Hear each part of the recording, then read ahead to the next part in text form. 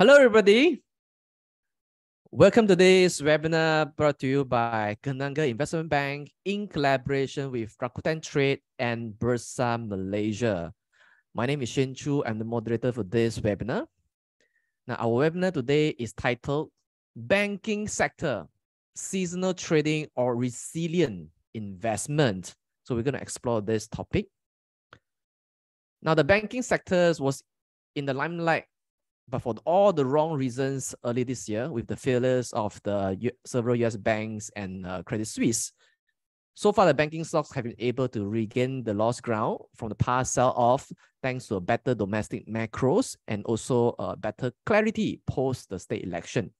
But with fears of recession still looming, should investors wait for clearer market signal or downtrends before investing with all these banks? So today we're going to explore this issue and gain more insights into this sector.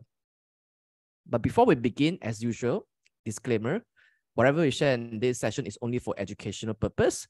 So you're 100% responsible for all your investment risks. All right. Now, today we are very honored to have invited the senior equity analyst of Kenanga Investment Bank, Mr. Clement Chua, to share with us his view on this banking sector, whether is it for seasonal trading or it is a resilient investment. So welcome Clement to our uh, webinar today. How are you? I'm good, Shane. Um, so maybe if I could just um, start and sure. apologies to everybody because uh, I, I, just, I'm still recovering a little bit from uh, influenza. So uh, there may be a bit of um, um, a twang in my voice. Um, hope you can bear with me for that. Uh, but hopefully, yeah, we can have a smooth and uh, productive session. Uh, yep. For this All right. Yeah. Just pace yourself. All right, over to you. Okay. Yes. Hi. Hi, everybody. So thanks for your time um, this evening. Just give me a second to pop up my slides. Okay. Here we go. All right. So I think Shane uh, just um, he summarized it quite nicely. Um, there is a few hiccups with the banking sector that we're seeing recently. It's really not uh, reflective of um, where we have seen um, the banking stocks perform, at least even just looking at last year. Um, a lot of the things, maybe we can attribute it to Malaysia not being good enough. Uh, we could just blame you know, foreign influences uh, because of the, for the US banks and Credit Suisse as well failing. Um, but overall, it's just really the stock market. Um, we do react according to how sentiments uh, rile up the um, the sector, and this is usually where some people might either see is it an opportunity for us to collect more to bolster our portfolios, or maybe it's time for us to maybe cut our losses and maybe revisit it um, sometime later on when um, I guess as Shane also said, when things become clearer. Um, so I'll just maybe start by going a quick uh, run through with the key topics we'll be touching through today. Um, I usually like to do this. Um, we would just um, quickly go through where we stand with the banks right now, as well as how the industry fundamentals are reading. And I guess the meat of today would be basically how I would think we should time our positions with the banking sector, um, at least for the time being. But I do think that some of the learnings here could maybe be carried on um, for future um, for, for the future occurrences where we do think that the banking sector is a bit uncertain at the moment. Uh, and lastly, just a very quick one on the overall calls and recommendations that we have on, on our coverages on the banking sector. right, so um, I always start with this. I think it's always worth highlighting um, all the time. So why banks are important to your overall portfolio or even just to the stock market in general, because uh, we do have uh, benchmark indexes. Um, this would be the KLCI, which is on the left. Um, if we want to see something that is a bit more sector-wide, um, we do have the Bursa Finance Index, or the used to call it the KL Fin Index. Basically, it's the index used um, to benchmark all of the financial institutions in the market. Uh, this would also include the non-bank um, lenders, like you can see ELK, uh, uh, RCE Capital as well. Uh, but basically, the point of me showing this is that you know the banks they do have a very significant uh, influence to how the indexes perform. Uh, for the KLCI, they make up 43% of the total weightage. And for the Bursa Finance Index, they are essentially almost the whole thing. Um, it's 88%. Um, minusing off a few big names like the Hong Leong Financial Group and Bursa Malaysia. Um, but other than that, we can just safely say that this Bursa Finance Index is basically the, the banking index.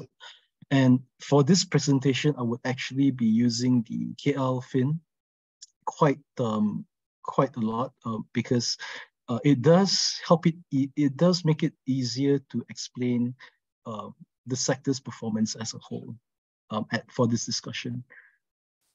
So maybe I would like to start with something I mentioned earlier is that um, the banks did do quite well. And this is the chart of um, the banking performances uh, for the calendar year of 2022. Um, starting off in the year, you can see that most of the banks, um, they did outperform the KLCI, which is the dotted line in red, uh, with one exception being BIMB. Um, the KL Fin index is um, somewhere in the middle, but you can probably agree that most of the banks, they did outperform um, the, the KLCI in quite a big way. And that is something that a lot of uh, investors do seek, uh, especially for the larger institutional investors. But when we come to this year, it seems like everything has just flipped upside down. Basically, um, I think there's only about uh, two or three banks who were able to outperform the KLCI only very recently. But if you look somewhere towards the middle of the year, where things basically started to collapse, uh, it all started in March. Really, uh, this is the, this is where the um, failures of the US the US banks started to happen. There was a very big dip over here, and I think the word that people were throwing around back then was um, contagion. And it's not the term that people would usually use outside of um, viral infections like COVID, uh, but it is something that people were worried about because the banking sector, the banking sector globally is quite complex. People do lend across to each other. Um, someone's failure could lead to a lot of cascading effects to you as well. And I think we're also seeing that with um, the China market, especially in the property sector, because if some of the developers, excuse me, are not able to repay their loans, and that would affect the financial system altogether. So I guess just to go back to the crux of it all, it's um, basically the collapse of the US banks. Um, I think most of us will have already been caught up with the news um, as to why this happened, but I think very briefly, I can just summarize it in, in one word, which is mismanagement. Um, how this happened was because uh, SVB Bank, uh, although they are not anywhere near the top 10 banks within the US, but they do have a very unique position um, where they are highly corporate driven. They do not have many um, retail accounts, uh, which would be you know, your normal general consumers. But at the same time, they also made um, some unfortunate bets. Um, I think we all know back then, um, in, in the good parts of um, 2022, um, interest rates everywhere was very, very low. US Fed rates were touching at the 0.5 to 5%. Um, even we ourselves were 1.75. And when rates just kept rising, um, it does take a toll on your, excuse me, the values of your bonds, uh, which Silicon Valley Bank unfortunately did hold quite a lot in. And when the value of your investments fall, um, basically you do not have enough capital to support um, your own operations. I mean, simply simply speaking, they do not have enough money to meet any withdrawals. And um, this did cause concerns and it did trigger a bank run. And that was basically where everything just um, fall out of place. And I guess what's not helping as well is in the US banking system, which is very unlike Malaysia, they are very, they are not as regulated they do like the freedom of it. Um, they think it does instill innovation and competitiveness in the market. But unfortunately, lower oversight does mean that you do expose certain organizations to greater risk, um, such as this. And although a lot of the local banks do complain that Bank Negara has been very strict and uh, very rigid in how they manage things over here in Malaysia, but I do think that uh, we have them to thank for because otherwise, you know, we may not, we may even be quite similar to where um, Silicon Valley Bank is at this moment. And touching on on the other on the other big one is Credit Suisse. Um, Credit Suisse isn't something that just happened overnight like Silicon Valley Bank. It is something that has been brewing for the past few years or so. And uh, I think for those who may have been following this name, um, although they are one of the most globally systemic banks out there, but they are pretty much plagued in controversy. Um, there is a lot of scandals. Um, there is a lot of um, fears of mismanagement on their end as well. And I guess all it took was for one of the Saudi investors to just say that no, they're not going to support the bank anymore for everything to just fall apart. Uh, but lucky for them, they do have um, UBS to come in to carry the burden of the bank. But otherwise, you know, having just seen these two big banks, um, well, actually there is more in the US, but uh, these two notable banks to just fall within a short period of time this year, it does send shockwaves to the banking sector. Um, we were not the only country that did see this. Um, I believe Singapore as well to some degree. Um, but basically, it was not a good time for anyone who was holding um, banking stocks during that period. Um, well, I guess a bit something a bit further down the line, um, we are going to see this coming very soon.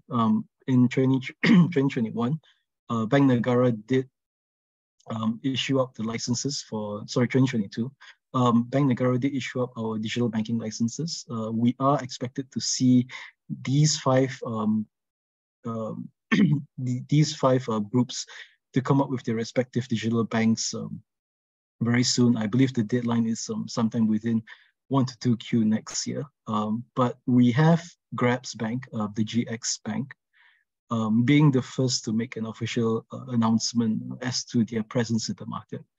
Um, we shall wait and see. Um, at this moment, I do not think there will be one other factor that would possibly press the banking sector too much because they are restricted by a lot of um, structural limitations as imposed by Bank Negara.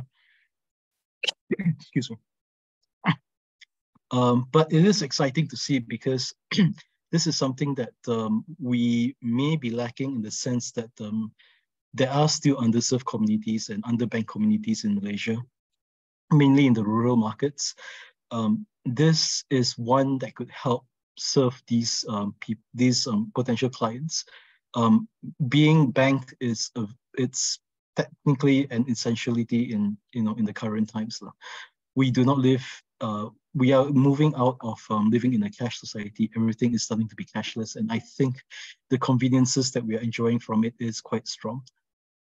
And, um, you know, basically just having the safety net of a savings account is also something that, um, you know, these uh, underserved markets uh, should be, you know, should try to benefit from.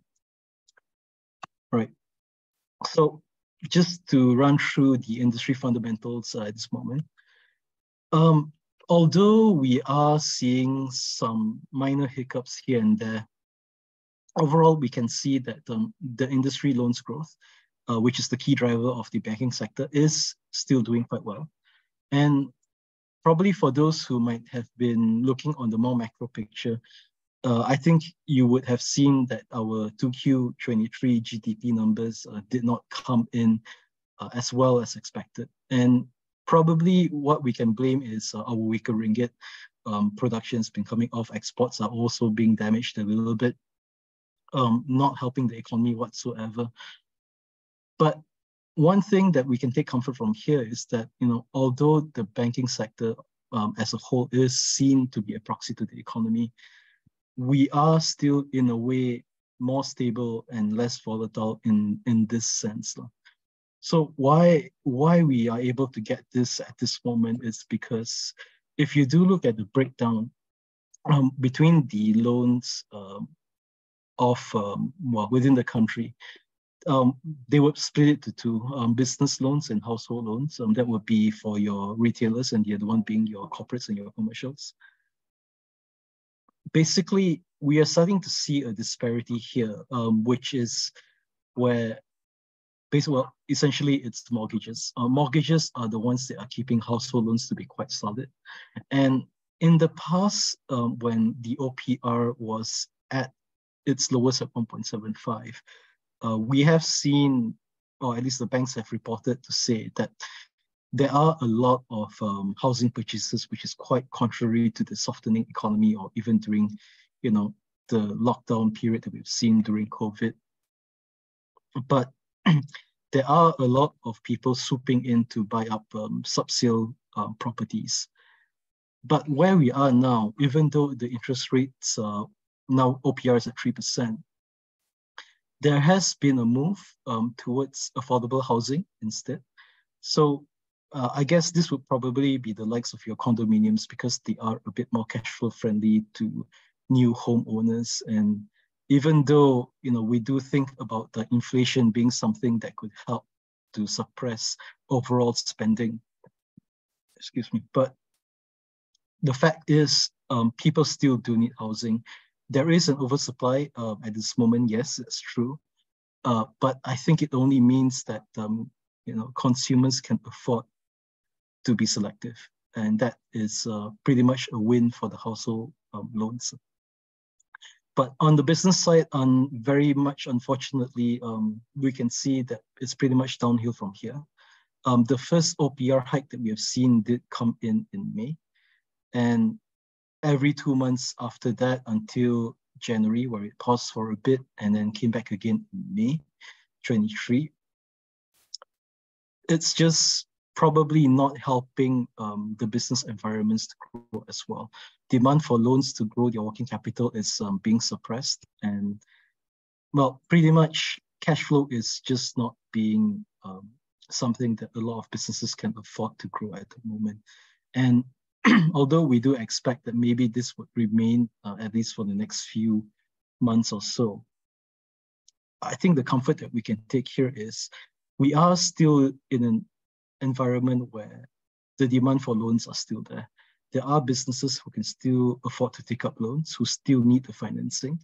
Maybe some businesses may not be able to be as well supported, but uh, it, it, we are still pretty much far away from a recessionary environment. And I think that is something that's uh, quite comforting uh, for us at this moment. All right, so just to reiterate the earlier point, I think, um, yeah, we did see the biggest component of um, household loans being residential properties. Surprisingly as well, um, we are seeing transport um, loans also picking up the higher purchases. And maybe we can say that um, you know there are more of more attractive launches coming up, and I think a lot of people have been attributing it to more EV launches out there. Um, but you know, it seems like Malaysians are still quite eager to spend, um, contrary to everything that else that we're seeing. So it's pretty good for us, um, or at least for the banks at this moment. Um, but of course, being tied down to a commitment, I don't think anyone would do that lightly if they cannot afford to do it. So just to give a broad picture of um, where the banks, or at least the local banks, the local listed banks are at this moment.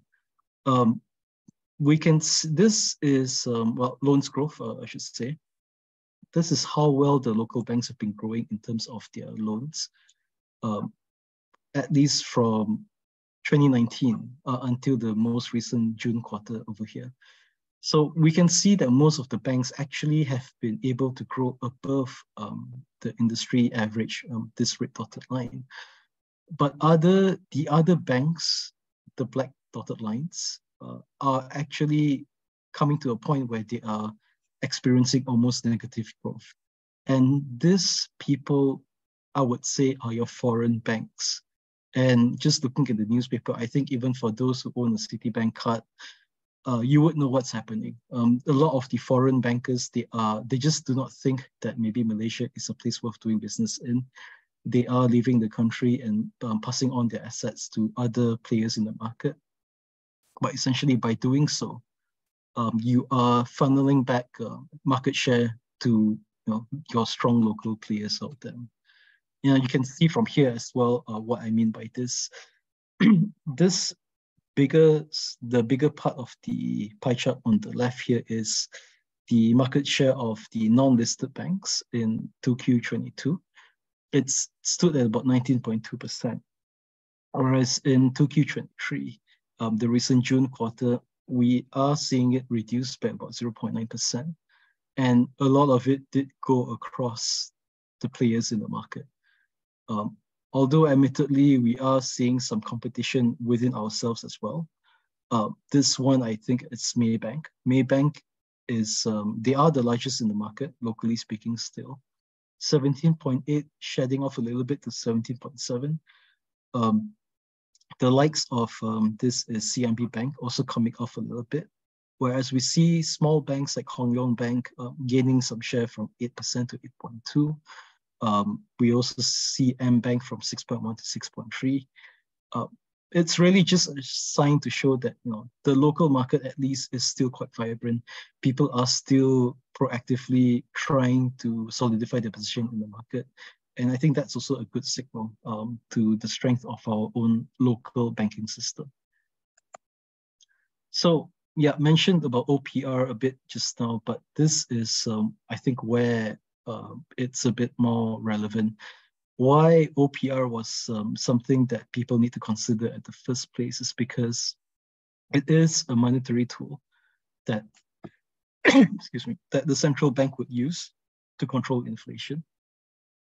And coming off um, from the deflationary period that we had experienced during COVID lockdowns, which is right here, um, the moment where we do see some relaxation, that is where uh, I guess we also we will probably experience this firsthand as well. Things just got a bit too expensive too quickly, and it did show within the readings of the uh, Department of Statistics. And although a lot of us with those longer term commitments like um, housing loans, for example, we did enjoy the lower repayments during this period, but eventually we have to come back to normal somehow. Uh, in the past, before COVID, we did stay at 3% OPR. Uh, that, that's where we are today. And um, we do not believe there's going to be another hike, at least for this year. Uh, what's helping that as well is because we are able to at least bring inflation back to I guess where Bank Negara wants it to be, uh, which is 2% or lower. Uh, I believe we are not below 2% yet, but um, probably we show it and see where the 3Q numbers are. But it doesn't seem like there is a need for Bank Negara to further increase uh, our OPR. And I, I, guess this picture is something that's very different if you look across to the US because the US Fed would just keep on pumping interest rates because the economy is just really stubborn with regards to inflation. And um, we're lucky enough to not be in that similar situation right now. So what happens when the OPR um, moves in effect? So for the banks, um, we do look at this thing called net interest margins or NIMS for short. In a state where your interest rates are low, you would probably think that, okay, maybe the banks are not charging as much and hence why they may not be earning so much as well. But the contrary to that is when you see this um, red dotted line, when the OPR goes down, the interest margins for the banks are actually going up. And I guess for those who maybe depend on a lot of uh, fixed deposit um, for your savings, um, unfortunately, you may have also felt this quite meaningfully where your FD rates were just, um, they just fell off the roof you were not able to enjoy such uh, good rates uh, for your savings. And that is pretty much because the banks had to maintain a sort of spread um, between their loans and their deposits. And the first one that had to go was the fixed deposit rates. So unfortunately for us, um, we do not have that mechanism to save. But fortunately for the banks or banking stock investors, uh, we are seeing profits at least um, gaining traction to some degree. But when OPR goes back up again um, in the last few quarters, you would probably think that maybe they will not um, compromise on deposits. They will just quickly adjust their financing rates up first. and maybe enjoy this um, upward spread a, a bit longer. But unfortunately, I guess it was a correction from this point because um, in December, um, I think it was quite notable that um, a lot of the banks, they did throw uh, fixed deposit rates um, to a very attractive degree. I believe some even went up to 4.8%. Um, why this happened? It was because um, I guess it's also like us as well. We did expect the OPR to go back to 3 or maybe even 3.25%, but we expect it to happen seamlessly all the way since the first hike in May, all the way until maybe January to March 23. Unfortunately, Bank Negara decided to take a pause for a bit. Uh, they did not raise rates in January and March. And banks um, trying to plan ahead to keep the margin spreads um, as optimal as possible. They did overestimate the fixed deposit rates that they had to pay in December because that was mainly to account for any hikes to see in January. And we did not see that for one whole quarter. So basically what the banks were left with is um, financing rates that could not be adjusted upwards. But at the same time, they also had to feel the pain of um, paying up for more expensive deposits. So hence why we did see this downward trend um, during this period. But the good thing for the banks for now, at least, is this is likely the bottom. We are going to see rates go back up again. Um, but it does maybe paint a picture that, you know, perhaps the banks are also not viewed too favorably by Bank Negara in terms of profitability as well. The agenda is probably beyond corporate earnings um, at this moment, so that is something that the banks will have to manage. Uh, but again, fortunately for us, um, the worst is probably over um, because if we are expecting interest rates to remain flat going forward, it does give the banks time to adjust um, their rates back to what is deemed to be a bit more optimal. Um, so another part of um, the banking sector fundamentals is really asset quality. Um, you do let give up loans and how much you give up, there will definitely be a handful that would fail to pay going forward. And this has been a conversation that people did um, look at quite closely um, since COVID, because um, for those who maybe have been enjoying such programs, but um, there was a thing called the moratorium and also the repayment assistance programs for deferred payment. Uh, so some people were able to enjoy the deferred payments, but for the banks, it did pose a problem because we do not know whether the people who are deferring the payments, they will be able to service their loans once again after the program has ended. So during this time was probably where people were a bit more worried when the program started to expire. But the good thing is at least we are able to see that um, industry, uh, at least on the industry standard, it has been quite stable um, for the past few quarters. There may be a few more cracks every now and then um, because there would still be a few accounts that will default. But at least broadly speaking, we still are not in a state of concern. And that is um, relatively a good thing for the banks. So Right. So touching on to this, which is um, the key point of this uh, discussion, timing our positions. Whether do we need to look at the banking sector a bit more closely for seasonal trading, or maybe we can just buy and hold indefinitely. Um, I think for those who may have attended last year's talk as well, uh, I did present a chart to show that you know banks are definitely one you can just hold perpetually there is a very good chance that you would be able to at least gather positive returns in the long term. Um, although it may not be as attractive as if you were to maybe look at the more volatile sectors like technology or construction, but at least you do have stable growth in your portfolio. But what I would like to touch on first is this so this is where I would start to elaborate on, or at least dig a bit deeper with the KL Financial the Bursa Finance Index. Excuse me. So like the KLCI, um, the index is calculated in points, and this one is a bit It's significantly bigger. It goes in the tens of thousands. And the that's sorry, that's what we'll see in the blue line. And like with um, any investment study, you would have to look at valuations as well.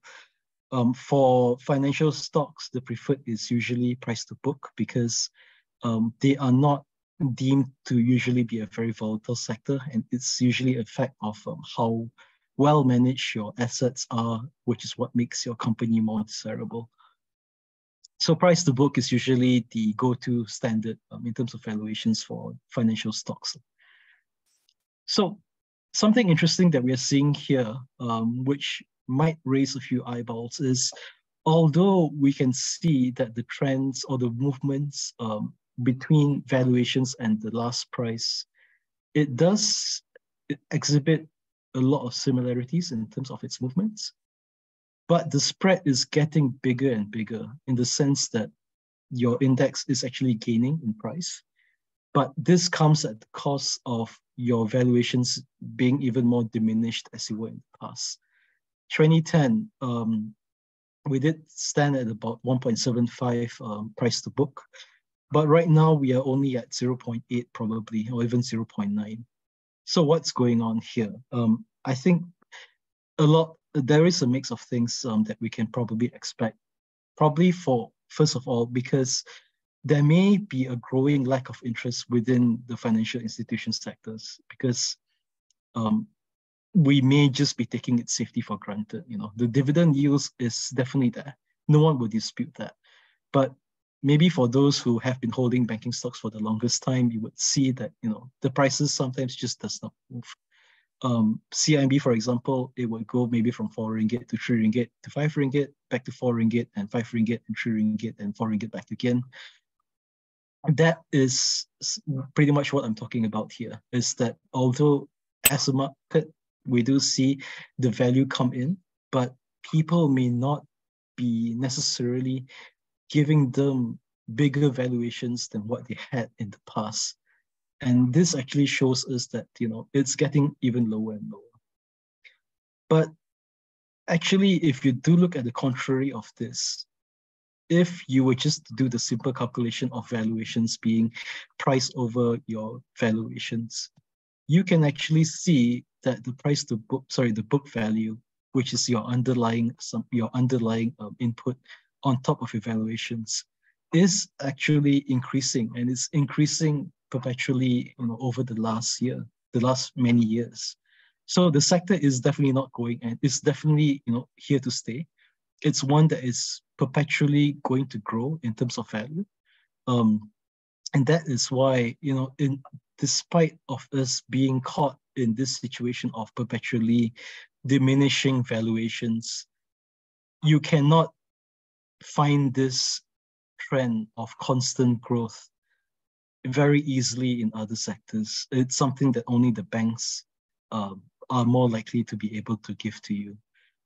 So I guess maybe looking at other companies in the past that um, people deem to be extremely high in growth, um, the first thing that probably comes to mind would be your glove companies, Top Glove, um, Kossan Harta, Supermax. They all were basically in euphoria during the COVID period. but when the bubble busted, everyone just fell off. So it's that degree of sustainability that is something that banks can continue to offer. But so if we cannot look at price to book, or if we cannot look at the, the growth of your books as a way to, you know, perpetually think forward of where your price is going to be, because it has been actually quite flat um, over the many years or so, having a range bound of between um, 12,000 to 18,000. What can we look at more closely? So, well, I'll, I'll just say it right here. Um, basically, for those who want to stay invested in the banking sector, you have to just eagle eye on the ROE of your banks. So one thing here is what we can see is ROE tends to be uh, it, it tends to be moving ahead with regards to the valuations um, in the future. So what I'm saying here is we can see, um, at least from the beginning of this period for illustration purposes, um, the dip of ROE that we've seen in 2011, it came towards your valuations a bit later on. And although we did see this stabilizing um, for the next um, two years or so, ROE came off first right here before the valuations of the banks. So for those who do study financials very diligently, for those who have been able to detect any potential shifts in earnings or ROE, you might be able to notice this happening um, going forward. And well, okay, I guess a bit um, further on to this chart over here, 2016, we can start to see ROE being stable. And it did translate a bit later on um, within one year. And the drop that we've seen in this part, okay, well, this is also partly due to COVID, uh, but most of the drop did come in during this period over here. So yeah, it did translate. I, I guess it, COVID did make it worse, but if not, it would probably have been lowering as well. So where are we at the moment, right here? Um, banks, the valuations are, are sitting right here at this moment. It does seem to be flat, but our ROE is, well, probably you can say it's also being flat as well. Um, well, I'm here to just say um, quite simply that um, across the banking sector, I do think it's just going to go up. So why do I say this? The banks are quite systemic to the Malaysian economy. Um, they are quite big players in the market. And 2022 was not the best year for the banks as well. You know, although we did see um, them benefiting from higher margins, um, loans growth also was quite stable, quite good. But we did had to pay the most in terms of Cukai Makmur. And that is something that we're not seeing this year. So even by virtue of everything being stable and flat, when Cukai Makmur just you know lapses this year, that itself is uh, going to be quite a good positive to your earnings in the banking sector. And also one thing that is probably a bit more tactical in nature, um, for the banks, impairments are a thing, and impairments are something that uh, the banks did try to manage a bit more carefully during COVID excuse me. so they would have this thing called um, additional provisions or overlays, which um, are basically additional buffers in case if the economy is to take a downturn a bit more severely than expected. And for those who know accounting, if you do um, this kind of impairments and you do not use those impairments, you get write-backs. And write-backs are also something that will translate quite favorably to your P&L and hence also higher ROEs for the banks. So if you ask me, although this might not seem very encouraging for investors, I do think there is more reason to believe that at least right now, we are in a position where there is further upside to our um, the price, to, sorry, the valuations of our banking stocks. So seasonal trading, um, I guess, is basically a study of your ROEs if you're able to understand or at least have a good idea where the near term trajectory is going to be, uh, you may be able to position um, yourselves with the banks uh, uh, maybe a bit more accurately. Uh, but of course, you know this is just a broad study. Um, timing is uh, an issue as well. Uh, it also does depend on the timing of your sale and purchase because the market is volatile. But I guess just looking at this very broadly, we can say that there is quite a good correlation with regards to how we view ROE um, and together with the overall uh, pricing of the banking sector. And I guess going back to the table that I've shown in the beginning of, in the beginning of the presentation as well, um, basically the downturn is right here, right? Uh, this is for the year of 23. And we did have ROE's expectations to be quite, um, what's the word for it? Quite depressed, at least from March on the way downwards. And eventually it did show as well. So uh, I guess, again, having a good sense of where you think ROEs are going to be um, could maybe give you a good heads up um, towards uh, the position of the banks. Um, and I guess why ROE is also important or how we are able to incorporate it into our evaluations because we do depend on this thing called the Gordon growth model um, when we try to derive our target prices for the banking stocks. Um, here is some um, CIMB, for example, we do our valuations, uh, we do our forecast and our valuations using this method. How we try to project forward is we do have to have an expectation of what the ROE for, in this case, CIMB is going to be. And this is what we call a sustainable ROE because businesses do change, but when they do change, we expect it to remain at certain level. So for CIMB's case, um, you know, going through this valuation method, um, we are able to come up with a price to book of about 0.92 times um, given a book value per share of about um, 6.58, which is 2024's price to book. Uh, we do have a target price of 6 ringgit, but we also did give a bit of generosity to CIMB Bank because we did give them an ESG premium as well.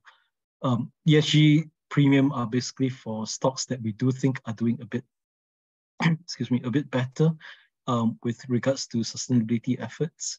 Um, CIMB, we did give a little bit a, a small token because um, they are one who are able to at least excuse me acquire more finan- green financing shares as opposed to the other banks out there and also i guess given their larger size in nature um so i guess i'm just what i'm showing here uh, ahead of time first is um, i wanted to show what the ROEs for the banks are like um, at least for one year forward.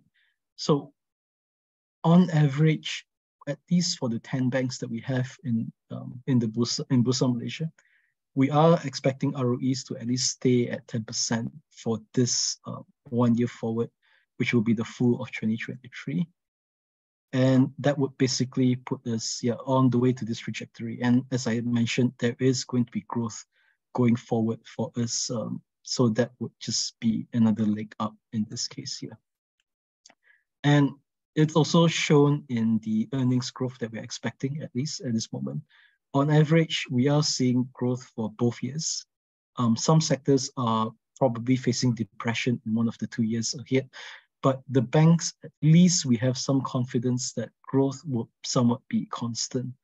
Um, although there will be some that maybe have a bit of a hiccup here and there, um, Affin, for example, um, this is really because um, they did have a very big disposal gain of the asset management arm last year. Um, the other one would be MBSB. Um, they do they did enjoy quite a lot of um, write backs in 2022, but 2023 is probably the year that they would have to rationalize it a little bit, and hence why their earnings are a bit more depressed. Um, Bank, um, it's a bit more of a costing issue, but you can see it's just not as much as the others. Um, yeah, but essentially just to run through a little bit, uh, we do have 10 coverages, which are all the listed ones out there in the market. All Most of them actually uh, buy calls to us. Uh, Bank Islam, we think it's fairly valued at this moment. Um, MBSB, not exactly a favorite, although we do think that the merger with MIDF is something that could um, be a bit more beneficial in the longer term. Uh, but I think it's a track record kind of thing. We, we do need to see it happen before we are able to at least instill a greater confidence uh, to the name. So I guess on the other half of this um, conversation is if you can't, if you are not going to trade, why not just invest invest in the banks? And I guess the good thing is, you know, dividends are relatively perpetual. Um, this is the dividends that the banks have paid during this calendar year. And if you would have held your positions for the year, these are roughly the yields that you would have gotten. And I think if you would have invested in the banks, uh, you would already be seeing this deposits being pocketed to your account anyway. Uh, we had always favored Maybank to be um, the dividend pick because these readings um, are usually, uh, they were usually leading in the industry. Um, but over time, you can start to notice that um, the likes of actually M- uh, Alliance Bank, they are one of the smallest banks out there, but they are slowly able to match um, in terms of dividend yields, even for the likes of CIMB Bank. Um, Hong Leong Bank, maybe they're not as generous, but at least you can you'll know definitely that they are stable. RHB is also one that's probably growing as well. Um, but RHB does have a bit of an extra nuance that um, they do have that digital bank with Boost. Um, whether it may result in higher cost spending for them, uh, we do not know. Um, it, we do need to wait and see once it gets rolled out because you know digital banks are known to blow a lot of uh, marketing in their budget. So maybe that would take a toll to their earnings and that would also depress their dividends uh, with that as well. But still, you know, 7% dividend yield, it, really does stand out anyway. So maybe it is a bet that some people may be able to take. Um, but yeah, I think in terms of safety, you probably do not need to worry too much. I would always recommend to just go with the large cap banks, um, Maybank, CIMB Bank. Uh, public, not the best, but um, they are the safest bank in the market and no one can take that away from them. So even in terms in the in the state of the downturn, public bank will still be able to likely maintain its payout. Yep. So this is really just my last section, um, really quickly. Um, so although I did mention a few hiccups within the sector uh, during this period of time, overall, we do think there are opportunities. Um, so I guess going back to the earlier point where ROEs are picking up and we do think that will translate back to the evaluations. So it does give people a reason to maybe pay a bit more close attention to the sector still. And although we did see that recovery come in over the last few months, um, people did say that foreign investors were leaving and now they're coming back up again because uh, they do think that emerging markets are maybe once again investable. Um, but for those who maybe are a bit too late to the game, I believe there is still opportunities out there. So we are again expected to see um, growth to still be stable.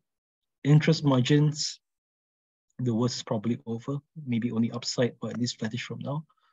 And write backs of your COVID provisions are something that would be a surprise to your earnings. And if I were to give you some top recommendations, I would have this three right here. Um, CIMB Bank is one of my favorites because they do have quite a lot of uh, regional arms. But the most notable among them is CIMB Niaga in Indonesia.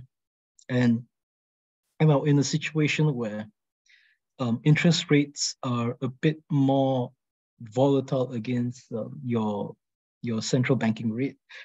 Indonesia is a different, it's quite different in the sense that even up or down, they are still seeing expansion in margins. So they have been able to optimize their books in quite that degree, and that does help to contribute to the strong earnings uh, on a group level. Public bank, um, again, I like it because it's probably the safest bank out there. Uh, one thing that may have caused the selling of public bank um, over the last few months is um, due to the unfortunate passing of its uh, founder, Teh Hong Piow. And they do have this issue called the grandfather rule um, imposed by Bank Negara, where essentially um, private shareholders, no one can hold more than 10%. And the Teh Hong Piow estate, uh, I believe he had 24%. So what this means for them is that eventually they would have to divest this, um, either spread it amongst the family members or find strategic shareholders. Um, because if you read through the Financial Services Act from Bank Negara, I think the most extreme measure that they can do is to force public bank to sell its stake, excuse me, to the central bank. But um, it's too extreme, and I don't think it would send a very good tone to the market uh, Bank Negara does this. Uh, because we do have two other banks who have to comply to this uh, grandfather rule eventually. Uh, that will be Hong Leong Bank and AmBank. But uh, yeah, I, again, I do not think Bank Negara will be too pushy on this. Uh, they will probably give the Teh family some time to sort things out, um, whether they comply or not. But honestly, I'm not too sure at this moment. I don't think they're in a hurry. But any clarity in this sense it only serves an upside bias to the banks. Um, but whether are they going to sell to other banks? I think probably not, because even 10% of public bank is already 8 billion ringgit. And you know, I don't think Vincent Tan can even afford that much. Yeah. Uh, lastly is um, AmBank. So AmBank, um, they have not been the most stable in the last few years. Um, even during the times of COVID, they had to pay um, for they had to pay their dues for their involvement in 1MDB. There's a global settlement payment of about 2.8 billion. Uh, it did shake the bank quite a bit. Uh, people did stay away from it for quite a while as well. But we are probably seeing that, you know, they are going back to the right track, at least comparable to pre-COVID levels. And we also know that um, AmBank has been one of the names that has been uh, quite a common suspect with regards to consolidation or mergers with other banks. And I think right now, more than ever, probably if any talks were to happen, uh, it may come back again. And you know, if this is a bet that we're willing to take, you know, probably now AmBank could be cheap, and uh, when the consolidation does happen, maybe we could see the capital upside uh, being drastically improved because of it. But it's a bet. Um, if in terms of fundamentals, it's still at least recovering back to its pre-COVID levels. So, yeah. So I believe that's all I have. So thank you so much for your attention. Um, Shane, I think we can go to Q&A. Sure. Thank you so much, uh, Clement, for your wonderful presentation. So if you have any questions to ask our speaker, Clement, today, please write your questions at the Q&A box, not the chat box. Write them at the Q&A box. Right. So the first question on my screen is asked by Mr. Maslan. Uh, what is the difference between the digital bank and the Malaysian conventional banks like Maybank, CIMB, and Bank Islam? Could you tell us about digital bank?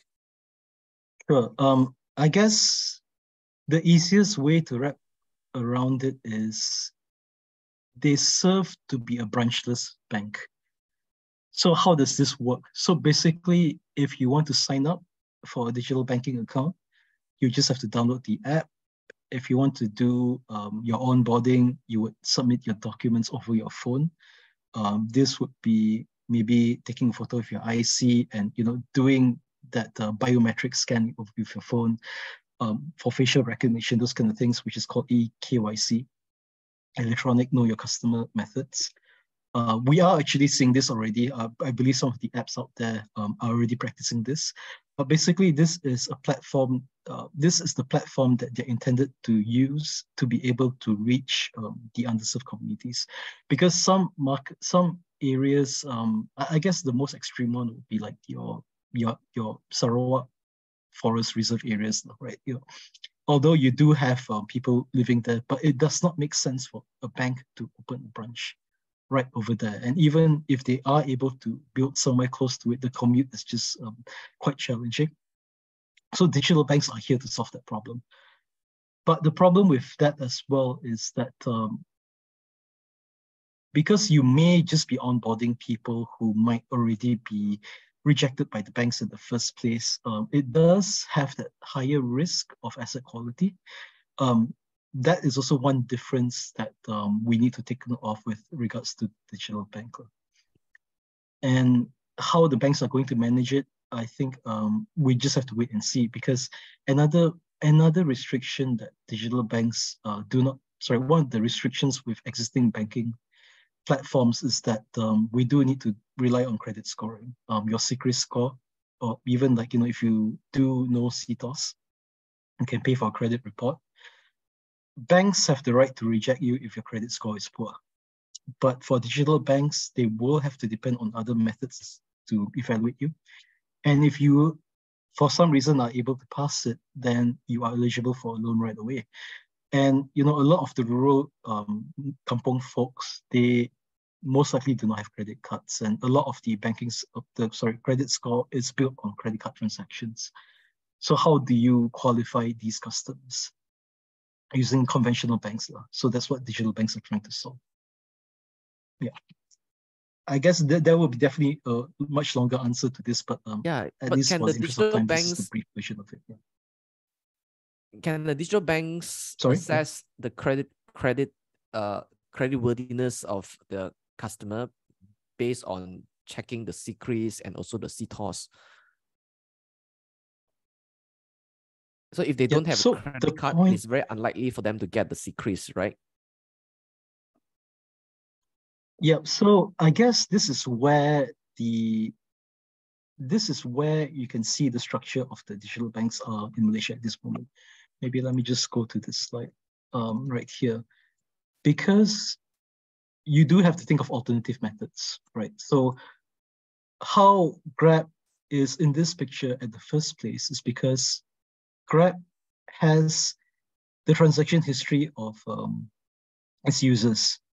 So maybe you are the kind who has always kept um, 200 ringgit in your Grab e-wallet. Maybe you are the kind of person who has always been spending in terms of um, e- either the, its e-hailing platform or basically just use its services um, to some degree. Uh, but what Grab has in terms of, um, I guess the term that people like to use back then was uh, big data. Grab basically has information on your transaction histories. And knowing at least to some degree that you, um, on that example, have always um, have 200 ringgit with you in your account, you are at least deemed able to have um, that servicing ability to meet that 200 ringgit um, at any point in time. Maybe they would think that as 200 per month and how would that translate to your overall uh, loans? Uh, we still need to wait and see. Uh, we, have, we have actually been trying to get some of these banks to speak about uh, what's their plan going forward, especially RHB and Boost because um, they're both listed um, through Axiata and uh, RHB itself. But um, understandably, they're all quite tight-lipped with regards to this. Um, but this is one method that we can use. Um, I guess even if you look across to Sea, um, the other one, which is um, Sea and YTL, uh, we all know Sea um, owns Shopee. Uh, so that is another platform to know what's the transaction history of the habits of its users. Uh, and that is something that they could use to assess uh, how much or how well a customer can be um, to ha have a borrowing facility. All right, I see. So how how is the possible margins like for all these digital banks? Uh, I think it's going to be even thinner compared to the banks.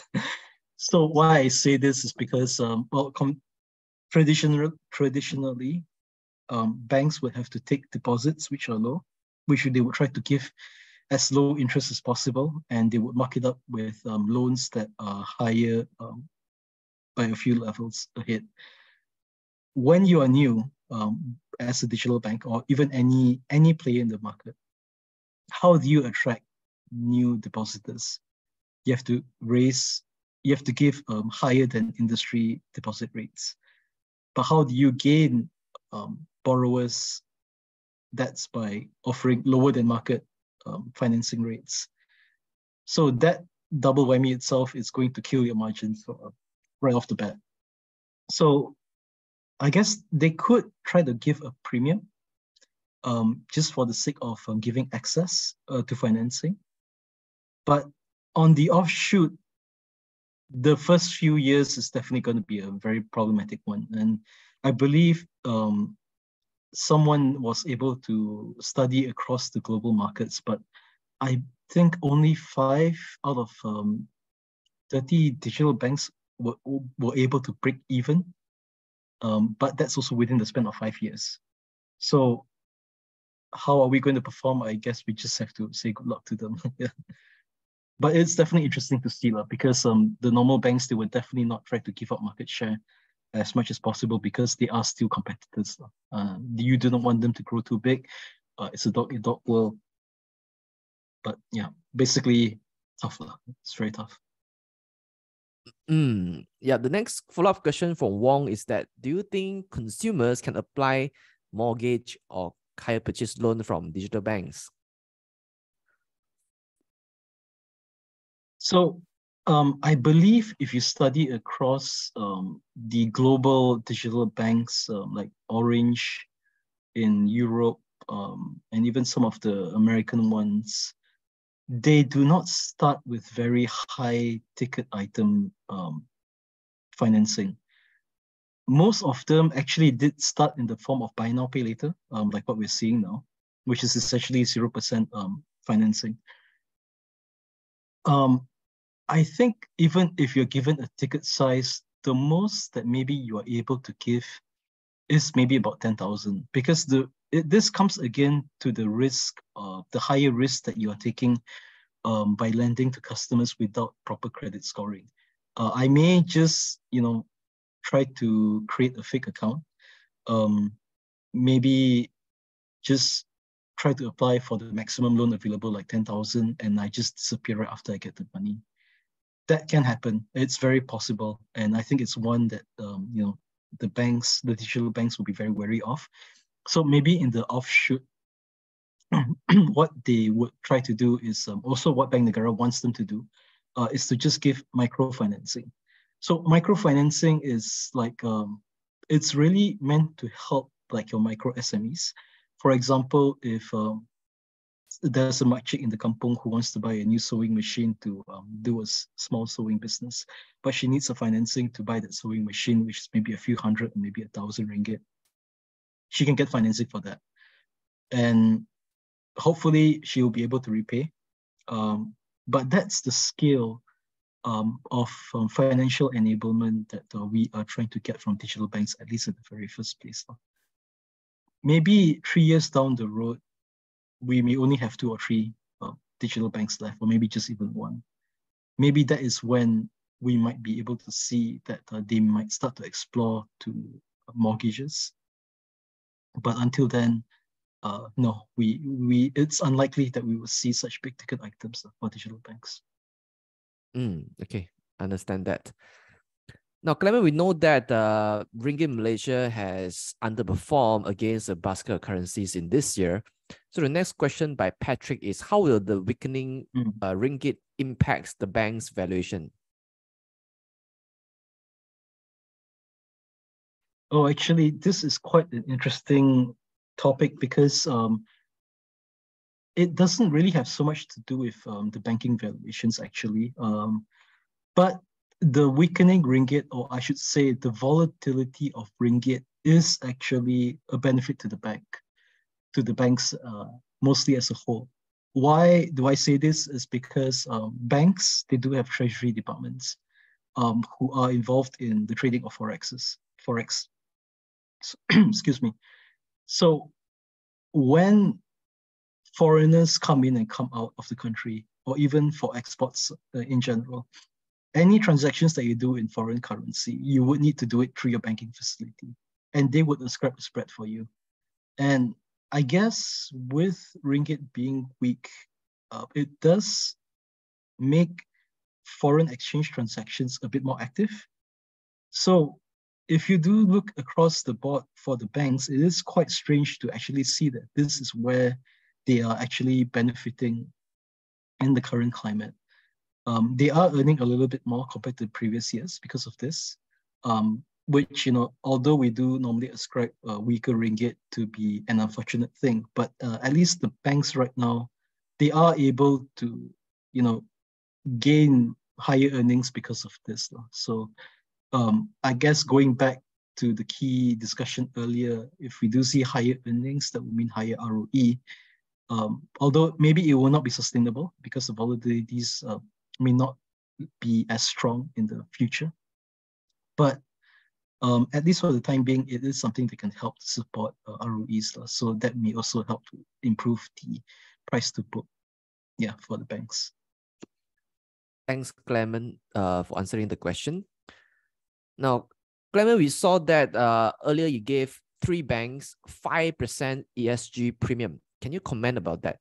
Uh, are the other banks doing poorly on their ESG sure. that don't deserve the premium? Right. So um, it's really our effort to instill um, ESG mechanisms into our evaluations. Um, it's not to say the other banks are performing poorly. Um, in fact, the spectrum that we have is um, you either get um, no adjustments, um, you either get a 5% premium or you get a 5% discount. What we try to do is um, to create a bell curve of sorts. Um, it, it's a bit arbitrary, I will have to admit, but we want to at least highlight any bank who may be doing better than others um, in certain ESG uh, elements.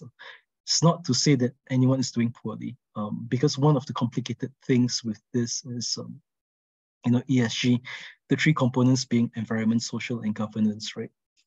Governance, the banks are highly compliant to Bank Negara. Social, maybe we look at CSR, the corporate social responsibility uh, measures that the banks would use. But at the same time, you know, the larger you are, the more resourceful, the more resources you would have to do more ESG, met, uh, ESG, sorry, uh, CSR um, activities. Um, Maybank is definitely able to do more charity than the likes of Affin or Alliance Bank. Um, so in that sense, we cannot um, punish um, Alliance Bank for not being as generous as um, you know uh, Maybank with regards to CSR. But what we try to look at is where the banks stand with regards to enabling uh, more sustainable financing. Sustainable financing would be um, green financing, um, which is um, the, the very basic one would be just solar panels and EVs, EV financing. Um, but a bit more nuanced would be um, sustainable uh, development projects uh, because you know there are a few uh, project financing um, requirements that uh, may require certain projects to maybe move towards uh, more sustainable uh, um, development methods. Maybe it's like um, moving from coal coal powered sources to more green powered sources or maybe just using recyclable materials, those kind of things. That is something that we think is more measurable for the banking space at this moment. So the three banks um, of CIMB, Public Bank, and Alliance Bank, the premium that we've given to them is really due to their efforts um, relative to the others in this space. CIMB Bank um, is thanks to regional. Um, public banks, surprisingly, uh, they are actually quite leading in terms of their energy efficient vehicle financing. Alliance Bank, um, although they are one of the smallest bank, we do think they deserve that 5% reward because with regards to loans evaluation um, for the assessment of um, carbon footprint, um, they are actually one of the first few to adopt, um, I, I, guess, global standards. Uh, not to say that the other banks um, are not doing it, but at least they are the first one who we have been able to identify to be doing it very publicly. So um, maybe the other banks are just not comfortable enough to want to promote this, but we do note that Alliance Bank, at least on the surface, is one of the leading uh, with this regard. So it's not, uh, again, it's not to say that any banks are doing poorly. Uh, we just want to highlight the banks who are taking one step uh, ahead to try to drive um, sustainability efforts. So hence why we have a 5% ESG premium on them. Thanks for the clarification. Now talking about sustainability, the next question by Stephen is, uh, is Maybank high dividend yield sustainable? Right, so I believe it is. Um, the the good or bad thing about Maybank is, um, for those who have the stock, I think you would probably know that the share price hardly goes anywhere. So, uh, I guess jokingly, what we like to tell our clients as well is that it's basically your liquid FD. You can go in and put your money in Maybank, and you can withdraw it at any time, and you know you would still be able to come back and enjoy that same yield. But that being said, um, Maybank is definitely still working very hard to grow. The challenge that they have um, being the largest bank in Malaysia is that um, you may already be oversaturated. But that's not a problem with Maybank because um, they are at least able to move in line with the market. So if the market is, uh, if the whole industry is growing like four to 5%, Maybank will be there. And with any growth, um, you know, that does translate to your dividends and hence um, your dividend yields would be intact as well. But this does come back to the earlier discussion, isn't it, that um, you know the valuation of the banking sector is perpetually eroding. So although you may be getting more dividends um, this year relative to last year, but your share price may just remain stagnant. But that, you know, for Maybank may still be okay because you are still being rewarded with about seven to eight percent dividend yield. So that's excuse me, that's uh, that's you know, not really a bad thing, I would say. All right. Thanks so much, uh, Clement. Um, we have one uh, attendees who comment that you know the digital initiative or investment in the public bank is relatively behind other banks. So what will be the impact for public bank going forward on poorer digitalization? So um, this is something that um, I think it's quite known in the investment community as well. Um, call it call it being a Chinaman company, um, uh, but everyone is aware um, that with regards to at least uh, moving forward, public bank is a bit lagging in that sense. Um, but that is not why people invest in public bank. maybe it's because of um, being stuck with the old tried and true methods, which is why Public Bank is able to do so well. They are actually the leading bank in terms of um, mortgage share, by the way. And people still do prefer to do business with Public Bank. So maybe you could say it's the uh, more traditional folk who still prefer to do things um, physically. Uh, but it does not take away the fact that Public Bank, um, they are the second largest um, domestically, it does not take away the fact that they do have one of the best um, cost management. Maybe you could you you could also say that it's because of the lack of investments that's why the cost is also low. But as a business, uh, you cannot you cannot discount that applying to their efficiency. And maybe in fact I should just go to this slide over here. Right, so um, Public Bank being the second last stock in this line, ROE is 13%. It's actually the highest amongst everybody else. So yeah, yeah, I think that's all we need to say. Yeah, it, it's not it's not an indication that public bank is doing poorly. People do appreciate it appreciate it for the for the value it brings. Um, it may not be as sexy as um, some of the other ones like CIMB Bank, but as an investment, it's still a very sound one. And that is something that people will continue to pay attention in. All right, thanks for uh, the clarification. Um, now we know that MBSB has done an acquisition in the past recently. Um, so the next question by Sinapan is that will there be any other mergers of banks take place in the future? So the normal answer that they would give if is, is if there is any mergers that make the due announcements. So at this moment, I can I, I cannot say that there is any or whether there are any discussions going on um, for any future in, um, mergers. But I would just go back to my point on AmBank that you know in the past they have always been one of the darlings with regards to M&As. Um, why AmBank specifically? Um, okay, I think this is also a good table that we can refer to. So AmBank, um, you can see, well, in terms of its market cap, um, 12 billion, right? So what, where does this put them? It puts them at maybe number six um, out of the 10 out here um, within the list. Who would benefit from acquiring a number six bank. Definitely, uh, I don't think it would be Hong Leong Bank because um, even if they were to acquire AmBank, it would not help them to move close to um, their next closest competitor, which is uh, CIMB. Um, it could be RHB Bank uh, because it may bring them closer to Hong Leong Bank. but we need to identify as well uh, why do people even want to acquire AmBank at the first place. Um, they do have strong SME um, portfolios. Um, this one we definitely have to agree on.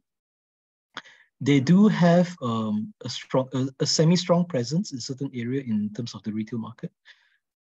Um, it may also just be a discussion that maybe someone may just try to acquire certain divisions within a bank. Uh, that could also be something that we could think about. Um, you know, in the last few years as well, you have probably seen um, banks just letting go certain divisions. Like Affin, they let go of the asset management arm. Um, AmBank um, and Affin also, they just they let go of their insurance arm. Alliance Bank did let go of stockbroking. So mergers does not need to account uh, as a whole organization. It can also come in the form of just business units. Um, and that is also one thing that uh, did lead the discussion for MBSB to buy MIDF because MBSB is a sole conventional bank, MIDF is a sole investment bank. Put those two together, you get a full-fledged bank. And that is um, that is essentially the direction that the management was going for. Um, so yeah, maybe it could be a bit difficult to say um, whether a bank and a bank could shake hands again together, but we may also just you know have to dial it back down a bit again to maybe consider that it's just business units that we could be talking about here. Mm, all right. Um, let's do one last question. So, do you think that there will be any further uh, net interest margin compression should Bank Negara raises the OPR again? I hope not. but uh, at least for now, our view is there is no reason for Bank Negara to want to raise OPR again. Um, let's just go through that slide.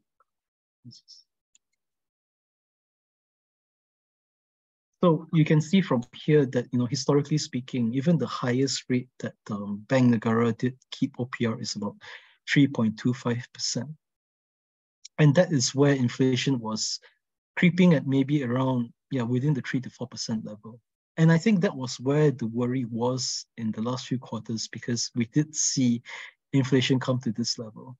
If it did not improve, then Bank Negara would probably have to go up one more leg. But if not, I mean, if we were to at least stay at where we are right now, 2%, uh, I think it, historical the historical numbers would speak for itself.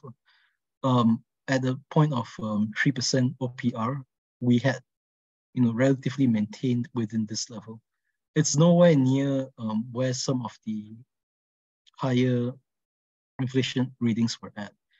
And you know, it's it's also something that they need to be very careful about because uh, OPR is a cost to your community. Um, and for us who are having mortgages, uh, we, we do feel the pinch every time there's an interest rate hike. And you know, who's to say um, businesses or even um, some of the not so well-to-do might also feel it as well. It is definitely a toll to the economy, um, but it is a tool to control inflation. And as long as inflation um, is within control, I do not expect the OPR to go any further. So maybe if we do see inflation come off a bit more um, in the next quarter, maybe there is a chance that um, Bank Negara may think that they have overdone on the OPR and maybe they might even reduce it. Uh, but given the signals that we have right now, I think we are just probably going to stay at 3% at least for the rest of this year. All right, thank you so much, Clement, for doing this uh, segment for us, which is uh, help us help helping us to gain insights into the banking sector. So hope that you all have gained enormous value learning uh, from the research done by Clement.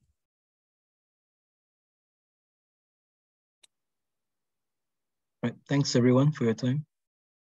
All right, so I've just taken the uh, screen sharing control. So for those of you who haven't had a Kentrade account yet, you may fill up an online uh, opening form, which I've just given you in the chat box. So that's where you can open a Kentrade trading account. So if you want to get some trading ideas from Kenanga, you may join the Kenanga Trade to Win Telegram channel. So on their Trade to Win Telegram channel, they give trade ideas on how you can trade the market. And for Kentrade app, right, uh, we have upgraded to Kentrade 2.0. So if you haven't downloaded Kentrade 2.0, you may go to App Store or Google Play uh, to download the latest Kentrade 2.0 with enhanced features on how you can trade the market. All right, so uh, ladies and gentlemen, you just heard from the senior equity analyst from Kenanga Investment Bank, Mr. Clement Chua, on the banking sector outlook. So thank you everybody for staying tuned until the end of this webinar, and thank you Clement for sharing with you with us our uh, your research on banking sector. Thank you, everybody. Stay safe. All right. Bye, everybody.